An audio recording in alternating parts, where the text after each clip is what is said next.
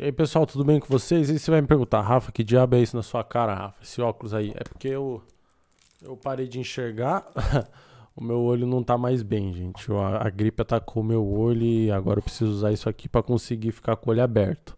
Porque senão vai vai derrubar tudo aqui, vai tombar tudo. A cor do meu olho tá tá vermelho, tá vermelho. Enfim, gente, vamos lá, vamos reagir aqui ao fio que o Fiuk disse. O Fiuk, gente, foi para cima aí do, do Projota e revelou aí literalmente o que o Projota tá fazendo, a, a, o esquema do Projota, bicho. O que, que o Projota tá articulando agora para se manter na casa. O Fiuk foi aí o grande, como eu posso dizer, o cara que mostrou o que o Projota tá, tá armando aí para ficar na casa. Eu achei até incrível o Fiuk ter falado isso. Ele falou com a nossa espiã, a Sara. Vamos ver como é que tá pegando isso aqui. Mas antes eu quero pedir a sua inscrição, o seu like, o seu compartilhamento, tá certo? Gente, simbora. Vamos ver aqui essa parada.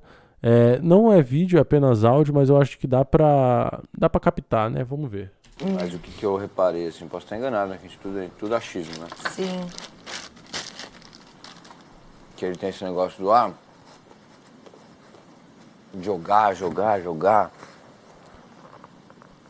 Tem que jogar. Tem que jogar, não sei o quê. E o time que ele se apoiou tá começando a vazar. Exatamente.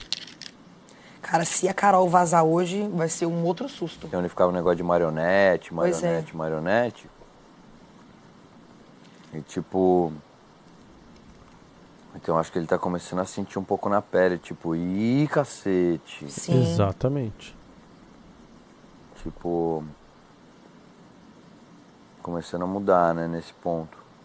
É, ele viu que não tava dando certo. É. Mas é porque eu não acredito em mudanças repentinas, eu sou dessas. Por isso que eu acabei indicando a Carol. Então ele, ainda Isso mais aí. ele que é uma pessoa que, que é super radical nesse sentido. Eu sou assim, meu jeito, eu sou tal, né? Canto tal coisa, sou pum, pum.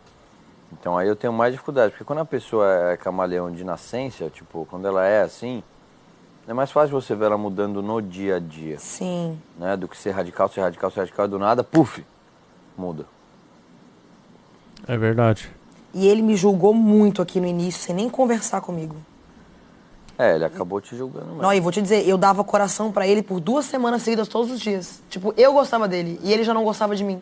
E Bom, gente, queria perguntar pra você o que, que você acha aí, gente. Você acha que o Fiuk tá fazendo uma, uma participação boa? Você acha que ele tá, como eu posso dizer, sendo mais coerente nas suas, nas suas posições? Deixa aí nos comentários, seu comentário é muito importante. Se você puder deixar o like, se inscrever, eu vou estar agradecendo a todos. O objetivo do canal é chegar a 66 mil inscritos até amanhã.